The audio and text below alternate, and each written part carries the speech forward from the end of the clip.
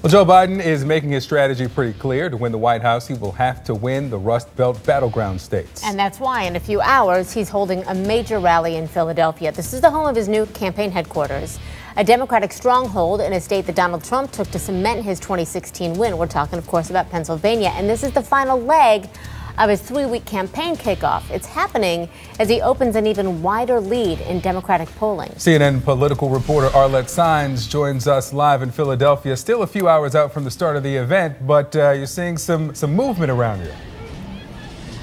Yeah, some folks are starting to arrive for the event here. And in a few hours, Joe Biden will be holding his first uh, major official kickoff rally of his campaign. And a short while ago, we received some excerpts of his remarks that he's going to make with a central message of unity. Biden will say that if Americans want a president who spews hate, they don't need him, saying that the current president does just that. And Biden saying that he's going to present a different path for Democrats, Republicans, and independents.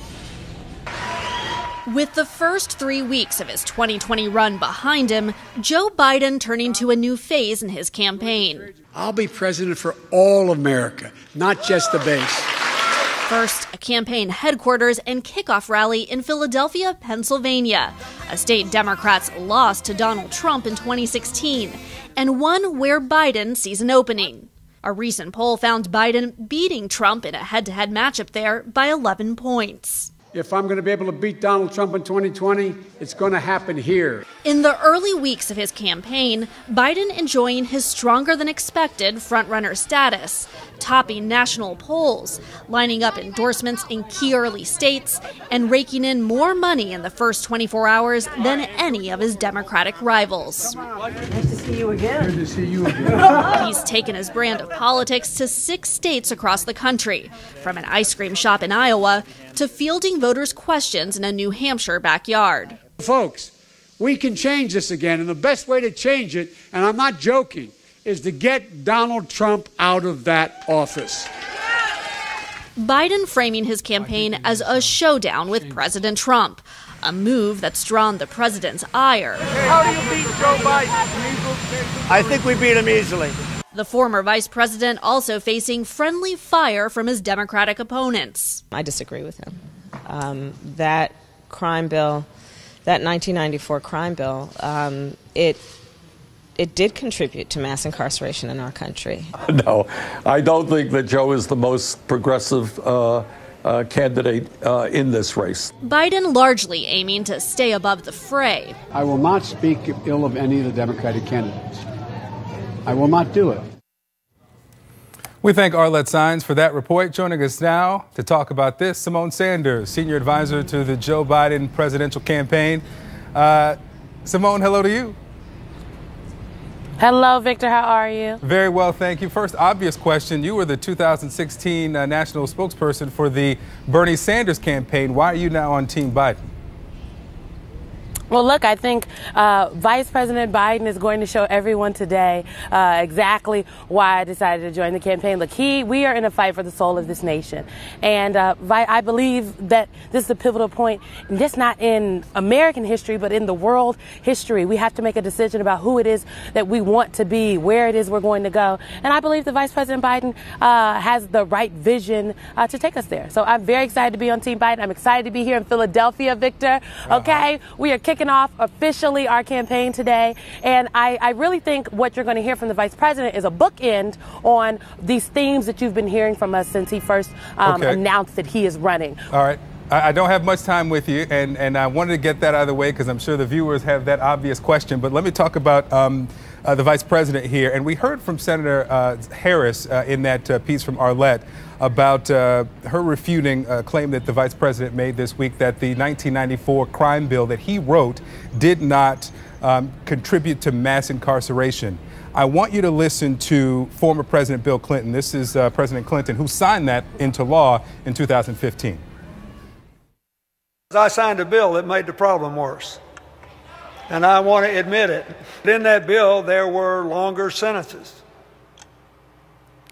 And most of these people are in prison under state law, but the federal law set a trend. And that was overdone. We were wrong about that. President Clinton says that, that they were wrong about that. Senator Harris has said that it contributed to mass incarceration. Why isn't uh, uh, Vice President Biden admitting what we're hearing from the former president? Well, look, I think what we can go back to Vice President Biden's comments at the National Action Network breakfast in January, where he noted um, that the, the the crime bill, by way of this disparity between crack and powder cocaine, trapped an entire generation of people. Look, I think many people will tell you across the country, Victor, black folks included, um, that the that the crime bill and the reaction to what was happening in the early 90s. Now, look, I wasn't, I was only about three or four, but I'm a student of history. What was happening in the early 90s? Um, the reaction was an overcorrection to a very real issue. But we are going to see some policy rollouts from um, our campaign very soon, Victor. I know folks have questions So- about so, what uh, is Vice President Biden's criminal uh, justice is policy. It, is it now and the, the those are going to come? Now but I mean, the campaign's pol- the campaign's position that the crime bill did contribute to mass incarceration. Victor, I think the vice with the vice, the vice president, uh, his comments speak for themselves. What is very Well, clear his, is but his this, comment was that it has- does not contribute to mass incarceration. The former president who signed His, it said and, it and if we and if look, Victor, if we play the whole clip, what he also said was his comment was what he also said was that the majority of folks that are incarcerated were incarcerated at the state level. And there's a that reason for that. Let me put up- let me put up the truth prosecutor- sentencing and there, and, incentives there, here. and I mean there is a reason for But that. there's a reason. Let me put it up. discretion. I Let mean, me put it, just- put it up on the screen, guys. The truth and sentencing section of the 1994 crime bill. This is page 21. It incentivized. Uh, it offered billions of dollars to build new uh, correctional facilities if states would increase the percentage of convicted violent offenders, increase the average prison time, increase the percentage of the sentence was there. Did this bill not incentivize putting more people in jail and keeping them there longer?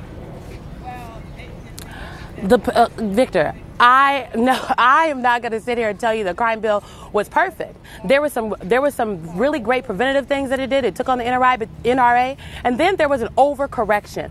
What you're describing was an overcorrection. There was a reach. Some folks went too far. The bill wasn't perfect. Republicans fought to put a lot of things in that bill. Democrats fought, Democrats fought to get a lot of things out of the bill. But at the end of the day, Victor, at the end of the day, no one is suggesting that what has happened, what has ravaged communities um, over the last 27 years, uh, does not need to be fixed. No one is suggesting that there is not a real issue, there's not a real problem or a real right. issue.